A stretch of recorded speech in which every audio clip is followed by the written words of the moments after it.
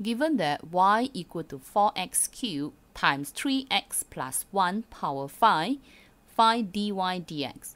We have now two functions of x. The first one is 4x cubed, the other one is 3x plus 1 power 5 being multiplied together. So to expand this function 3x plus 1 power 5, the process is quite tedious, so we have to use the product rule. Remember the product rule dy dx equal to u dv dx plus v du dx. So our dy dx here equal to, first you copy down the first function that is 4x cubed multiplied by the differential of the second function. Second function is a composite function. To differentiate this, we'll bring the power 5 in front. Copy down the main function 3x plus 1. The power 5 reduced by 1, we have 4. Remember to differentiate the function inside. I have 3 plus now I copy down the second function that is my 3x plus 1 power 5 multiply with the differential of the first function which is 12x squared. Next, I'm going to arrange everything in order. Always put your number first. I have 4 times 5 times 3 which equal to 60. So I have 60.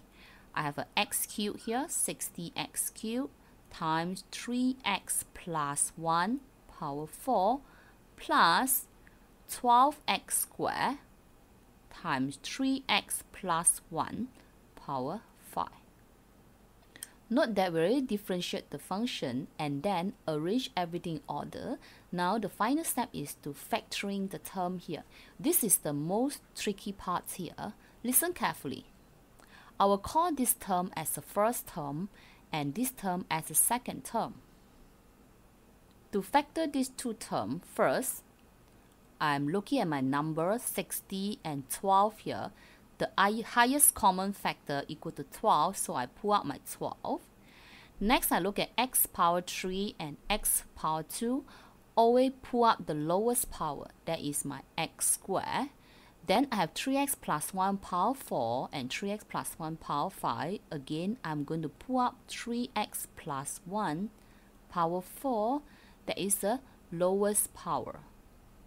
And then I have the term here, which is I have the plus in the middle. Remember, 12x squared times 3x plus 1 power 4 times with this term here, I'm going to get back my first term. So we see what's missing out here. I need 12 times 5 to get 60. x squared times x to get my x cubed. And the 3x plus 4 terms is already being pulled out. The second term here, I need 12 already here and the x squared here. 3x plus 1 power 4, I need another one of 3x plus 1 power 1 in order to get 3x plus 1 power 5.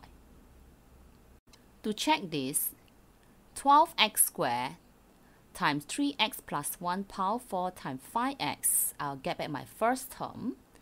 And 12x squared times 3x plus 1 power 4 times with 3x plus 1 here, I will get back my second term. So the next step, we simplify everything. We have 12x squared times 3x plus 1 power 4 5x plus 3f I 8x plus 1 that is the final answer for the derivative